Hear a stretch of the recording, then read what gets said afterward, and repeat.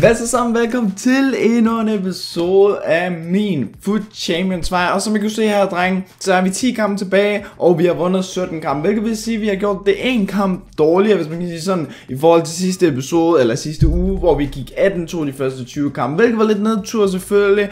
øhm, men samtidig så må jeg også indrømme, at min matchmaking den her uge, og det er ikke for at komme med undskyldninger noget på forhånd, men nok hvor har jeg været uheldig med, med matchmaking i forhold til. Uh, lad os bare starte ud uh, på stream i hvert fald. Jeg var 11-1 tror jeg. Jeg har lige tabt min første kamp. Uh, jeg var gået 10-0. Så taber jeg min første kamp på stream, øh, så spiller jeg nummer to kamp, og, øh, og den får jeg et hurtigt rage quit på, hvilket jeg tænker lækkert. Det er lige sådan en trøstepræmie i forhold til, at man, øh, man lige har tabt. Og, øh, og så render jeg ind i Ajax Bob 95, tror jeg han hedder, øh, som altså lå nummer 1 i sidste uges Weekend League, skal lige siges. Øh, så det var en lidt uheldig matchmaking, skal vi ikke bare sige så. Altså nummer 1 kan ikke rigtig gøre noget. Øh, hvis jeg skal forklare mig igen kampen, så kan I selvfølgelig gå ind og se den på stream, hvis I vil se tilbage på min streams. Øhm, men jeg taber den 4-1. Øh, i sidste ende 100% fortjent. Han har et hold til måske 15 millioner, hvor jeg har et hold til, hvad der svarer til 4 eller 5 eller sådan noget, lignende 4 tror jeg, eller sådan noget. Ja, han har i hvert fald sådan 15 til 20 millioner hold eller noget. Det var i hvert fald både Vieira og Hullet, der styrede hans midtbane, og det gjorde et stort problem for mig. Ja, jeg tabte 4-1, øh, men jeg var faktisk tilfreds med min præstation for at være helt ærlig, fordi til 0, eller vi gik til halvleg 0-0, øh, så jeg følte faktisk første halvleg, det var sådan lidt min, jeg skabte nogle chancer. Jeg havde på et tidspunkt et helt frit skud med Ronaldo, og så som det selvfølgelig er, når man møder øh, gode spillere, alt det der, så har man ikke lige momentum med sig, som gør sådan, at da jeg havde det frie skud, så lavede øh, ved det FIFA en form for bug, hvis man kan sige sådan, som gjorde sådan, at Ronaldo prøvede at takle bolden i stedet for at skyde, og der var ikke nogen i nærheden af ham på det tidspunkt, skal lige siges.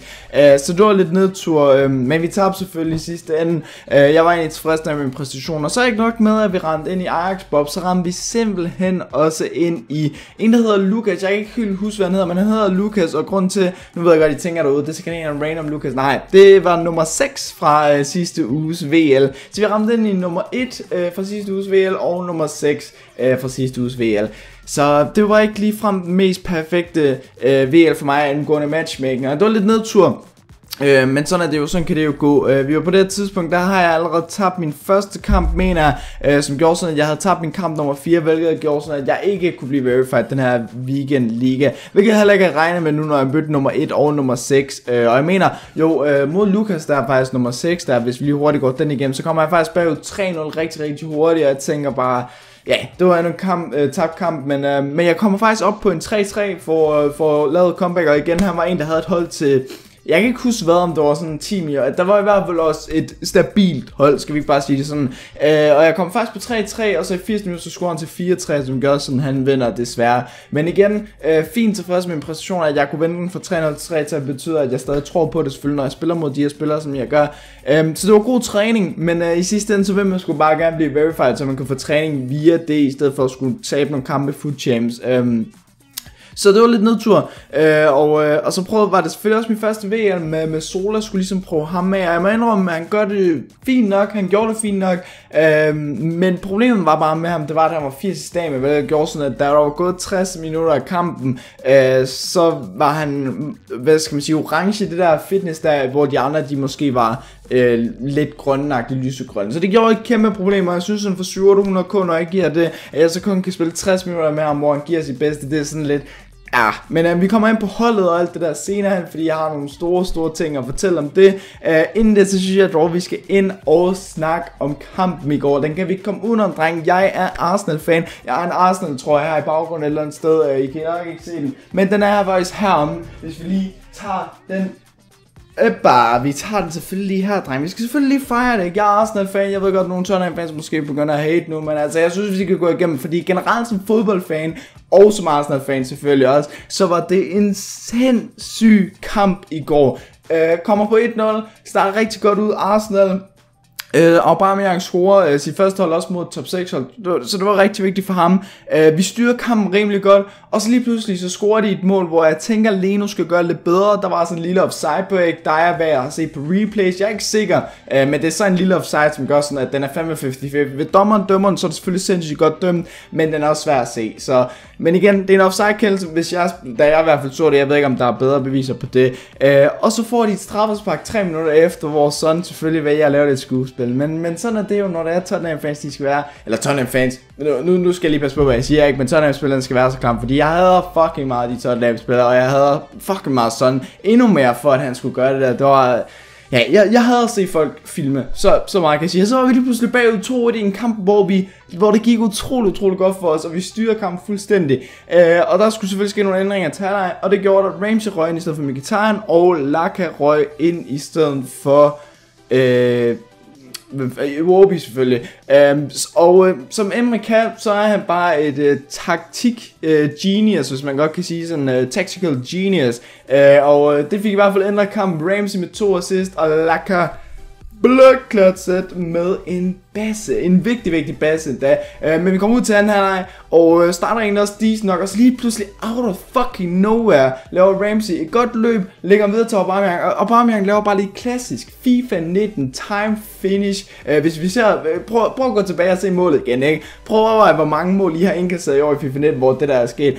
Out of fucking nowhere. Jeg sad og tænkte sådan, hvordan fuck får han den der sparket ind, men øhm, topscorer i Premier League. Han kan selvfølgelig gøre en del, og han gjorde det også der. Scorede til 2-2, og så lige pludselig så var vi tilbage i kampen, sådan rimelig tidligt i anden halvleg. Og så kommer Laka blokklart og øh, får lidt heldigt sparket ind, hvad jeg egentlig sige. Altså, han, øh, han ramte den ikke godt, øh, men han fik den placeret godt, hvilket gjorde sådan, at den rettede af på Erik Dyer, den fucking taber, okay? Han, han kan få et stort fed el med hjem, på grund af, at han valgte at tyse på Arsenal fans. Det er et stort fed fucking karma på op. Og øh, det gør altså, når, når Tottenham-spillere vælger at lave skuespil i en kamp, og de vælger øh, at tyse på Arsenal, øh, det gør bare, jeg havde dem endnu fucking mere, end jeg gør i forvejen. Så han kan få et stort fed fucking el med hjem øh, til Ja, den, jeg skulle lige til at sige til deres stadion, men øh, det har de jo så heller ikke. så ja, øhm, og øh, så får Lucas så score, og så til sidst så scorer manden over alle. Det havde fandme også fortjent. Lucas Torreira får scoret sit første mål for Arsenal i en kamp, som var så vigtig og fik afgjort kampen. Også sindssygt godt sparket, hvis man kigger på, at det er hans første mål.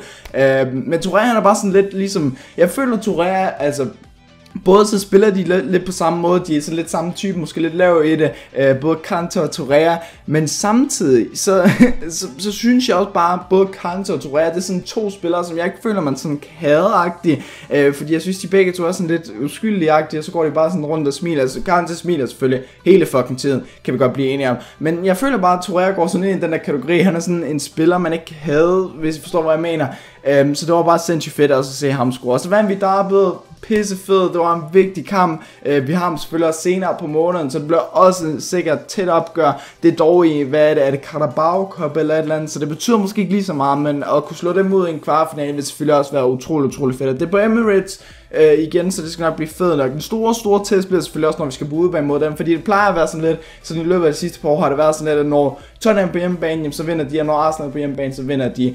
Um, men ja, altså vi, vi vandt David fortjent, jeg vil sige 100% fortjent de sidste dem. Vi havde flere chancer osv. De havde de der 5 minutter i kamp, hvor de spillede godt, men ellers så synes jeg, at skulle det var en fortjent Arsenal sejr i sidste ende. Og, øh, og så er Arsenal ubesejret nu i 19 kampe, skal lige sige, så Øh, ja, Emery gør et okay job, skal vi ikke bare sige sådan, og selvfølgelig Torreira har også været fuldstændig game changer for. Så meget kan det ikke sige. Så jeg er så glad for at være Arsenal fan pt. Fordi at der sker så mange nye ting, og nu ligger vi nummer, nummer 4, øh, delt med Tottenham med point, men vi har så bedre målscore, som gør, som vi rykker over dem. Øh, og altså prøv lige at overveje sådan generelt som Premier League fan, overvej lige hvor tæt top 5 egentlig er i år. Jeg, jeg, jeg tror det var sådan noget, 30 point ligger Tottenham på, som er nummer 5, og nummer 1, det er så City med 38 point. Det er 8 point forskel, men hvis vi så kigger på nummer 2, jeg mener, det er Liverpool med sådan 35 point eller sådan noget, så er det 5 point for sådan 3-4 pladser, eller sådan Det er helt sygt, synes jeg. Uh, så det er virkelig fucking spændende, og sådan små, små kampe må man bare ikke tage et point pt, så kommer det til at koste. Så det var, det var så vigtigt 3 point for Arsenal, som gjorde sådan, at vi selvfølgelig nu står lige med Tottenham selvfølgelig i tabellen, Øh, og hvis vi havde tabt den, så havde vi været 6 point bag dem, så det havde bare set sådan anderledes ud. Men det var så fedt, og øh, jeg er så pisseglad for øh, sejren. Så jeg tænkte, det var en ting i hvert fald, vi kunne snakke om i dag, det her Food Champs Recap video. Og nu når vi når til slutningen her, så tænker jeg, at vi skal ind til det, fordi at, øh, det her det er faktisk ikke min sidste kamp, det er en af mine, øh, jeg tror det er min femte eller sjette sidste kamp, eller, eller noget lignende det i hvert fald. Det er tæt på, og... Øh, Ja, jeg, jeg følte lidt sådan Sola, det var ikke det værd, jeg synes han var god, men det var bare sådan 60, 60 minutter, så skulle han ud, og det følte jeg sådan lidt, ah, 700 k for det, Nej tak, jeg følte der skulle ske nogle ændringer. Jeg så lidt streams med forskellige hister her. Jeg så nogen spille med, med nogle icons Blandt andet Sokrates, som jeg ser for, for de fleste gør det sindssygt godt. Og jeg tjekker lige hans kort, han er sådan 5 cent week for 4 cent skill. Så sindssygt godt ud, men han koster selvfølgelig Altså hans dårligste koster 1,2 øh, Men den var hvad? Den var medium low i work rate Så det var jeg ikke særlig fan af. Øh, Så var hans anden bedste, den var så, øh, hvad det der øh, med der high medium, som gjorde sådan, det gjorde det lidt bedre som en cam, og så hans prime var selvfølgelig også det samme high medium, men den koster så også, hvad, 2,4 eller sådan noget, hans prime, og hans midterste koster 1,7. Så jeg sad sådan lidt i et, hvad, hvad, hvad gør vi her? Hvad gør vi her? Hvad gør vi her? Øhm, jeg gad utrolig godt at prøve noget nyt, øh, fordi jeg følte lidt sådan, holdet bag Ronaldo var bare ikke godt nok lige nu. Det er bare ikke godt nok lige nu til, at Ronaldo kan carry. Ronaldo har carry fucking meget. Jeg tror, jeg spillede 70-80 kampe med ham lige pt. Og øh, han er på 125 mål og 60 assist eller sådan noget. Så han gør det sindssygt godt. Men holdet bag Ronaldo er bare ikke godt nok lige nu. Og jeg føler lidt, øh, som jeg skal sige, nummer 1 Ajax, Bob, og nummer 6, der var Lucas, hvis der også, øh, hvis I lige hurtigt tjekkede. Um, men um, ja, jeg, jeg vil slutte den her video af med ikke at sige så meget andet end... Ah, det, det blev en stor beslutning af mig, og jeg kommer måske også til at fortryde det frem så måske kommer jeg til at være pisseglad for det. Jeg har solgt Ronaldo, og øh, jeg har solgt ham for 2,4. Jeg har solgt mit hold, jeg har lavet et nyt hold, og øh, der er scorebilleder ude på onsdag i hvert fald. Og så skal I glæde jer til at se, hvem jeg har fundet på mit hold. Vi slutter 24-6, hvilket er decent nok, men jeg føler, at der skulle ændringer til. Vi skal prøve noget nyt noget nu. Øh, jeg vil have den verified, og om det skal koste, at jeg måske prøver noget nyt her, det må vi så se, men... Øhm vi giver et forsøg i hvert fald. Jeg vil sige tak fordi I gad at med. Husk at selvfølgelig smide et kæmpe like på den her video, hvis I kunne lide den. Lad mig høre noget kommentar for, hvad I synes om Norflotten og Darby selvfølgelig. Og øh, så håber jeg, I glæder til på onsdag, hvor min scorebilleder altså kommer ud. Jeg glæder mig personligt selv virkelig, virkelig meget. Jeg har lavet holdet nu. Uh, jeg har ikke købt det hele, fordi jeg mangler stadig nogle coins efter rewards, men I kommer til at se holdet på onsdag i hvert fald, så det skal jeg glæde fucking meget til. Jeg synes selv, det er et stabilt hold, og jeg kommer til at forklare i den video, hvorfor jeg har gjort de ting, som jeg har gjort, og forklare meget mere om mit hold. Tak fordi I gør så med derude. Vi ses selvfølgelig i næste video. Hej. Slow motion.